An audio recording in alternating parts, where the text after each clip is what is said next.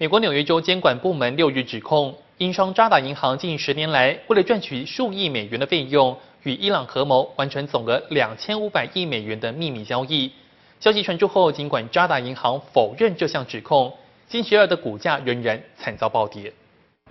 美国纽约州监管当局指控，这家总部设在英国的全球性银行有系统的采取不诚实做法。十年来，瞒着监管当局，共协助伊朗进行了大约六万笔秘密交易，洗钱金额高达两千五百亿美元。监管当局表示，这种做法违反美国对伊朗经济制裁的规定，并很可能以使恐怖分子和罪犯得以利用美国的银行系统。监管当局强调，如果渣打银行无法对这些交易提出说明，将被处以罚款，甚至可能被取消在纽约州的营运许可。渣打银行则否认这项非法为伊朗进行洗钱的指控，并表示在对这些交易的复核过程中，并未发现有任何一笔交易是与美国政府认定的恐怖组织或机构有关。但丑闻已导致渣打银行的股价暴跌，继先前香港下跌百分之十六之后，伦敦早盘下跌百分之二十五。